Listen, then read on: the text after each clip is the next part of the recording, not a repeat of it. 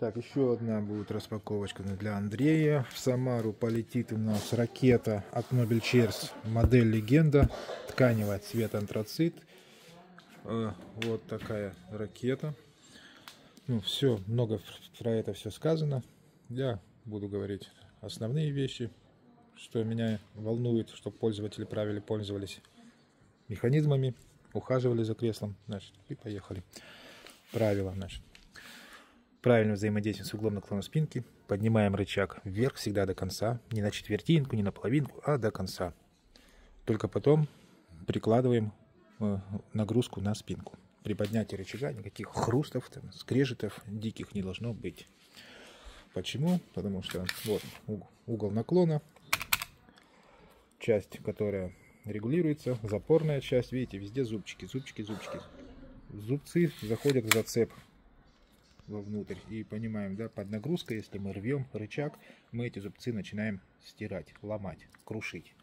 Поэтому сначала подняли, потом надавили спиной на спинку. Очень важно. По ткани. Ткань 100% полиэстер с микроворсом, очень плотная, потому что нитки к ниточке там прям настолько плотные, стойкие к стиранию, не впитывают влагу, так как плотность и микроворс на поверхности кресла. То есть, если что-то пролили, есть возможность это все стряхнуть. Ухаживать за обязательно нужно, потому что кресло будет служить минимум 5 лет. Я рекомендую для ткани приобретать автохимию, аэрозоль и раз в год, два раза в год, вот, а, после летнего периода пенку на нее наносим и с помощью пылесоса эту пенку собираем. Понимаем, да, самые, э, все, что соприкасается с телом, ну, самые грязные места, это будет сиденье, и это будет вот РПП. Ну и когда вы руками его трогаете, здесь тоже, соответственно, будет от, от рук биологические все жидкости и грязь скапливаться в этих местах. Вот, как бы два вот таких варианта, два, два правила, две рекомендации, которые несложно выполнять, и кресло будет служить очень долго, и, и вид его не потеряется. Так, теперь рвем скотч. Сейчас только ключ свой найду. Где он? Завтра кресло отгрузим. Вот у нас уже нарисовалась отгрузка. О. Абсолютно новое, абсолютно запечатанное кресло. Так, компания SDEC. Отгружаем. Еще раз указываем адрес. Не домашний, а адрес пункта выдачи SDEC. С одним ПВЗ должна работать с грузами 30 килограмм. Выше 30 килограмм. До 50, до 100. Так, так как кресло весит 30, ну, 32 килограмма в коробке. Итак, забирать можно на своем автотранспорте.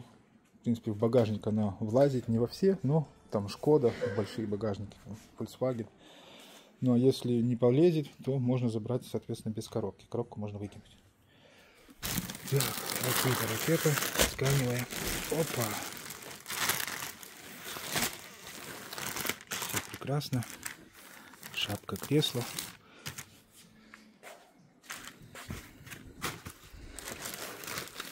Мы переки... Тяжелая спинка. Пакет не снимаю. Все прекрасно видно мне через пакет. Тоже никакой деформации. Все красиво, ничего не торчит. Проверю ручку на динамическую нагрузку. Ручку РПП, то есть механизм РПП. Итак. Кресло уже оплатили. Оплатил кресло. То есть ну, видео мы снимаем, чтобы мы были спокойны, что кресло уехало с нашего магазина полностью в идеальном состоянии все в комплектации. Это бывают такие сюрпризы, что и подлокотники давят, и что-то редко, но что-то могут не доложить. А в какую-то коробку могут переложить. То есть там все под учет, я так понимаю. Инструкция. Все, видите, стандарты, бифма, французский рынок. Вот что это был продукт для французского рынка. Оторвали кусочек от сладкого пирога. Так, подлокотничек хороший.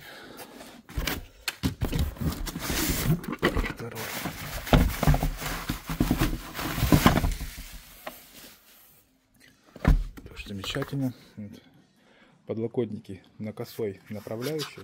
Направляющий. Стойка косая. Это такой большой жирный-жирный прям плюс к регулировке кресла, а именно подлокотников. Если мы махнем местами подлокотники, левый направо, право на левый, вся вот эта подушка сдвинется ближе к спинке. Вот, кстати, нам у себя икончик я так и сделал. Да, кнопки управления будут неудобно расположены, но поверьте, вот, за все эти годы я ни разу не крутил подлокотник. Максимум это по высоте. А вот такое положение подлокотника, когда локоть не висит, а именно на подлокотнике, очень удобно. Поэтому это все можно все дома махнуть, померить и оставить ту позицию, которая вам более будет удобно. Все это делается, в принципе, легко. Вон три болта махнули здесь, три болта здесь. И очень даже удобно получается. Так. Заглянем в эту коробку.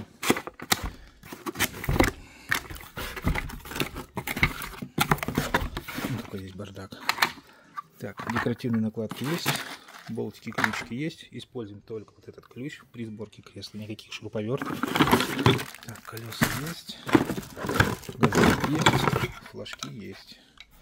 Все на месте.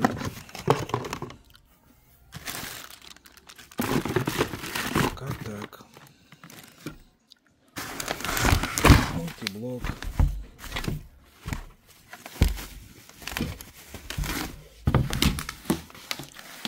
Одни из самых одни из самых стойких механизмов. Переносит все говорится тяжести невзгоды от пользователя. Ну и также угол наклона. Одни из самых стойких механизмов.